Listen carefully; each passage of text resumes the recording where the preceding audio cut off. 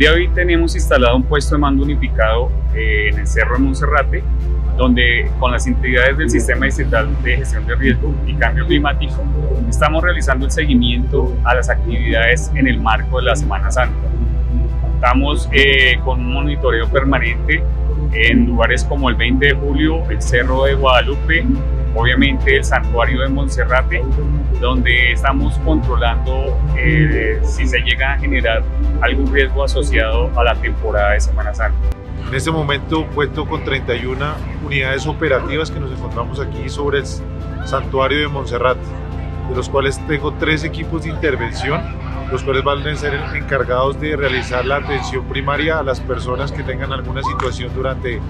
durante aquí la visita en el cerro. De igual forma,